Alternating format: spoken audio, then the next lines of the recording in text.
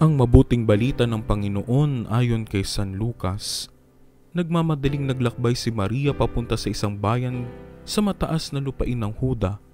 Pumasok siya roon sa bahay ni Zacarias at binati si Elizabeth.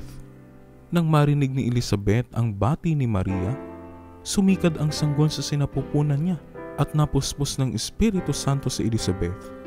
At malakas siyang sumigaw at sinabi, Lubos kang pinagpala sa mga kababaihan pinagpala rin ang bunga ng iyong sinapupunan. Sino nga ba naman ako't naparito sa akin ang ina ng aking Panginoon?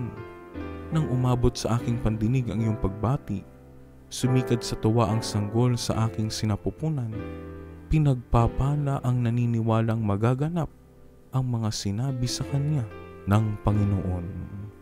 Ang mabuting balita ng Panginoon, pagsasadiwa nang marinig ni Elizabeth ang bati ni Maria, sumikad ang sanggol sa sinapipunan niya.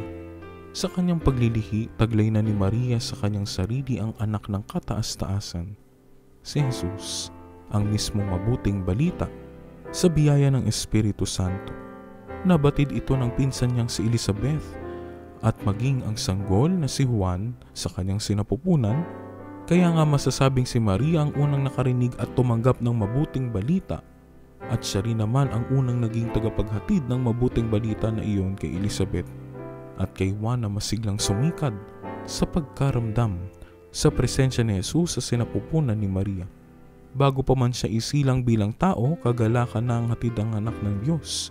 Sa sino mang bukas ang puso sa mahiwagang pagdating niya saan mang lugar at anumang pagkakataon. Pagsasagawa, kung kristyano ka, Nararamdaman o nakikita ba ng ibang tao si Jesus sa mga sinasabi at ginagawa mo? Kristiyano ka man o hindi, nakapaghatid ka ba ng kagalakan, sigla at pag-asa sa kapwa-tao mo? Papaano?